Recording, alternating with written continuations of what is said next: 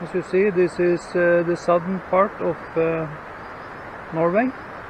Oslo, Drammen, Kongsberg, Notodden, Rykkinn. There I live. So I drove Sandvika and this uh, highway. We have some highways in Norway. And uh, in Drammen I drove towards Hokksund and to Kongsberg and further to Notodden. And then I took this road over here.